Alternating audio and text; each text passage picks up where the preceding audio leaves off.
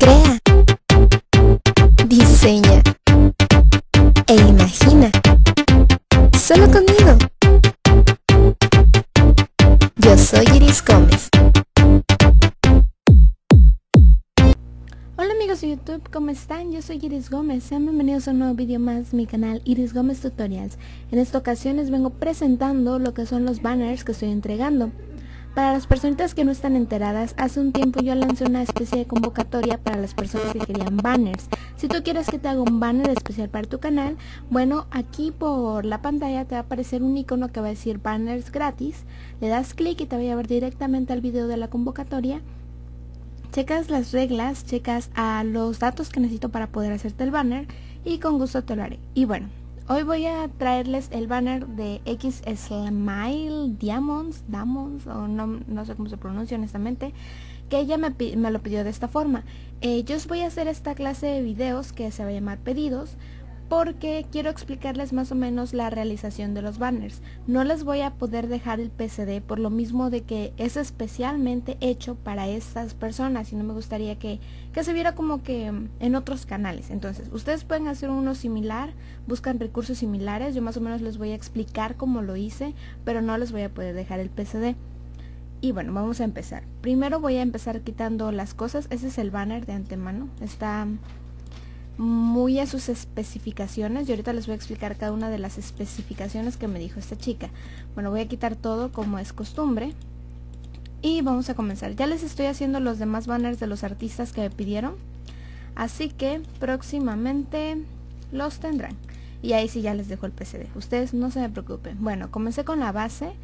Eh, hice una base de rectángulo de esta forma para cubrir todo lo que es el área. Recuerden que trabajamos hasta esta zona.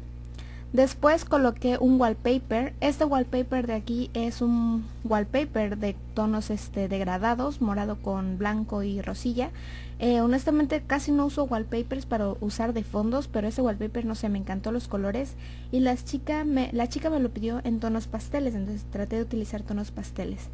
En la parte de arriba puse lo que es esta forma personalizada, que ustedes se van aquí a esta herramienta, la seleccionan y dice herramienta forma personalizada. La seleccionan y en esta parte de aquí, esperen, esperen, ¿dónde está? ¿Dónde está?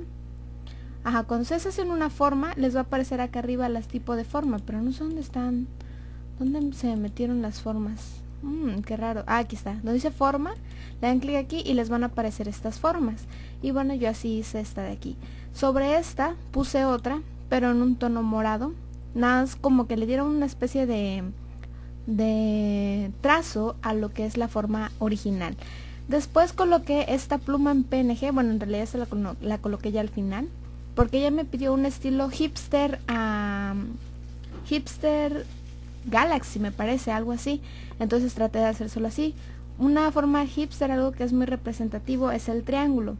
Entonces coloqué un triángulo transparente y uno blanco encima como dándole volumen a lo que es el triángulo.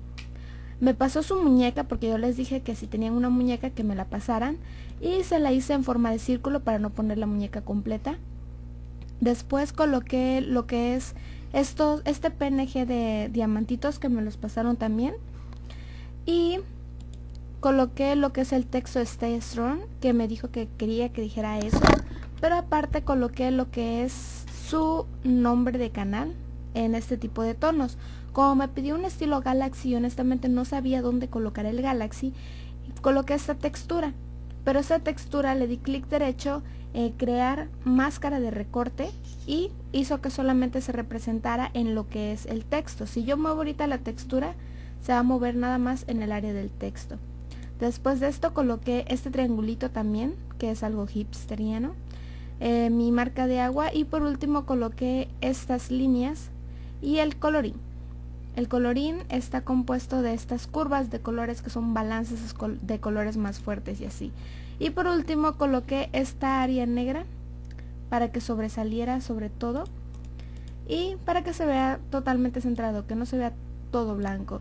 Y bueno, como ven es algo súper sencillo el banner, pero lo hice con los requerimientos que ya me mando. Y bueno, esto ha sido todo, espero les haya servido. Si tienen alguna duda, acá abajo en la descripción me lo dejan y yo con gusto se las respondo. Y nos vemos en un próximo video. Adiós. ¿Quieres contactarme? ¿Salir conmigo? ¿Ser infiel? Pues no te olvides de darle like a mi Facebook, en donde encontrarás todo lo relacionado con los tutoriales y los nuevos que están por salir.